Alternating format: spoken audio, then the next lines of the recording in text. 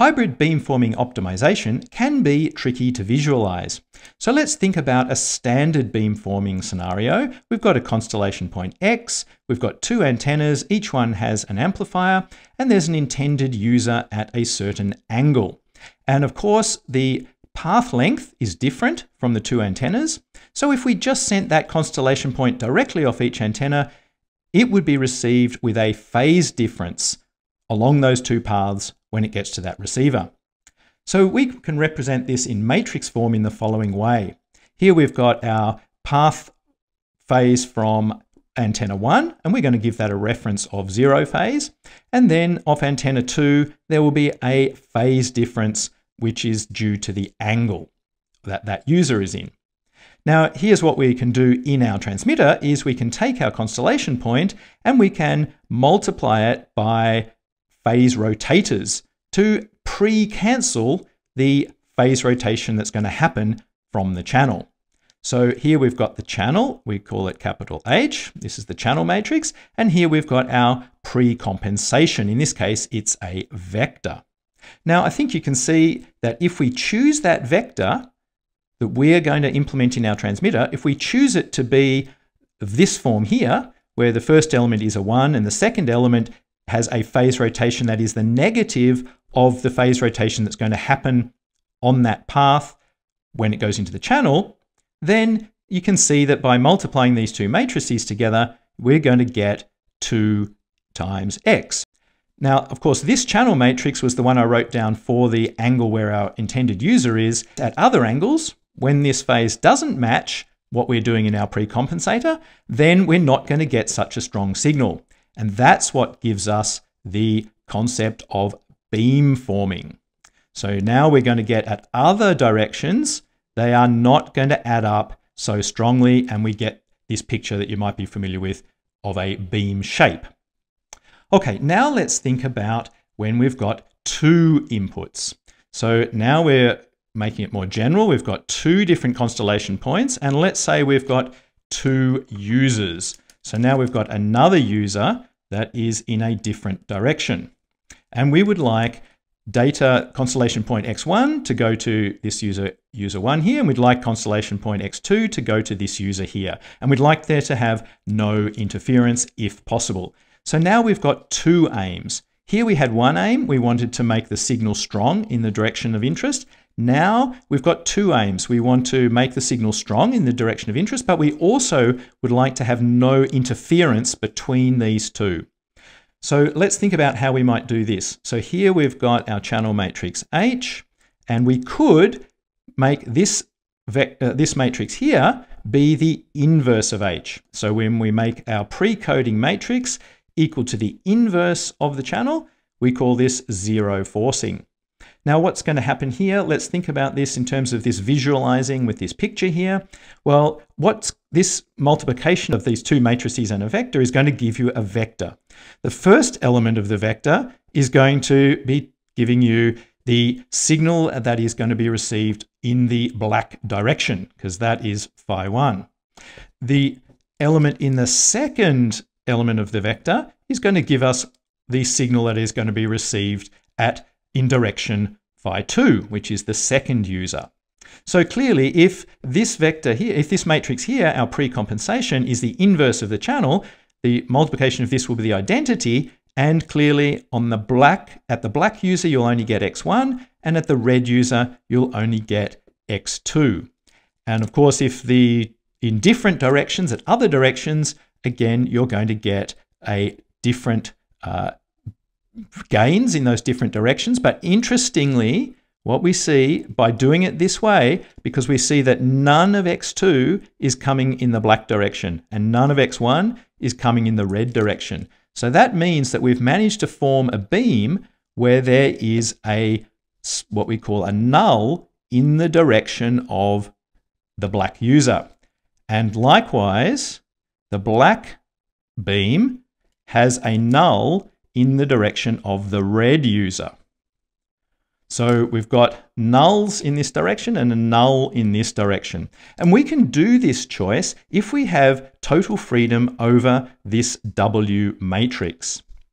Okay, so now let's think of hybrid beamforming. So now we have a similar structure to what we had before, but now we have the scenario where there are lots of antennas, more antennas than the number of amplifiers. And this is for a whole lot of practical reasons. This is common in millimeter wave communications, for example. And there's a whole nother video on the channel on hybrid beamforming. You can find it in the description below. What it means is that we don't have total freedom in what we do in the matrix. Like we did over here for the zero forcing, we had total freedom. Uh, we could have amplitudes and phases in this matrix here. But now we've got a matrix here, which is taking, in this example, two inputs and converting it into many outputs. This matrix is constrained. This one cannot change the amplitude because there are not amplifiers on each antenna. So this is what we call an analog beamforming matrix, and this is what we call a digital beamforming matrix. So now we have two matrices that we need to optimize. And how do we visualize those and how do we think of those? Well, let's think in relation to the standard and the zero forcing that we've had before. Let's write the matrix equation for this. We've got the constellation points, we've got our beamforming matrix, just like we had over here. But now we've got this other beamforming matrix, our analog beamforming matrix. And in here, we do not have enough degrees of freedom to fully zero force the channel to get zero interference. So now when we do the optimization, we have to optimize over both of these matrices. Again, our challenge is to maximize the signal in the direction of interest for each user and also minimize the interference between them. We've got two matrices that we need to optimize now. So let's try to visualize this and think about what's happening. So now we can think, let's, let's say, for example, let's say we chose to pick the standard beamformers as columns in this matrix, just like we did in the standard beamforming case. So we don't worry about interference. We're just going to try to maximize the signal strength in the direction of interest. And so then what we're doing is we're forming beams in our direction of interest, but we're not able, and we're doing this with the analog beamformer, but we're not able to control the side lobes. So in this case now, we are going to have a case where there's interference between the beams, between these analog beams. So we don't have a null anymore in the direction of interest. So along the black direction here, we are going to be getting a component of the red signal. And likewise, in the red direction here, we are going to be getting a component of the black signal because we haven't been able to do full zero forcing because we haven't had full degrees of freedom in this matrix. So now what can we do with this matrix, this digital beamforming matrix? Well, if you, when we see it like this, hopefully it becomes clearer and sort of easy to visualize that what we could do is we could now declare this combination to be the effective channel.